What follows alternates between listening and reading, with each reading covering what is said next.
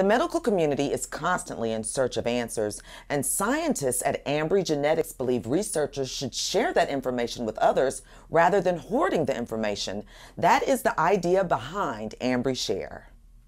In an effort to speed up the potential discovery of new treatments and cures of cancer, Ambry Genetics launched AmbryShare, the world's largest disease specific public database of human genome data. The action is a first step to support global medical research and break the mold of data hoarding being done in academic and commercial organizations. The data that's out there right now on disease populations is very small. It's in the hundreds of samples. Today we're releasing 10,000 hereditary breast and, uh, and, ovarian cancer samples, which is a magnitude larger than anything available currently.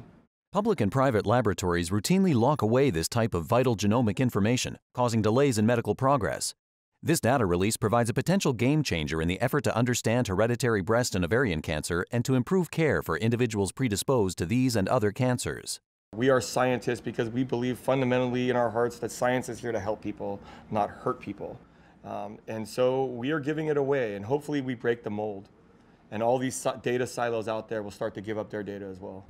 Ambry believes if everyone shares information, we can learn and understand faster and hopefully find cures. To learn more, go to ambryshare.com.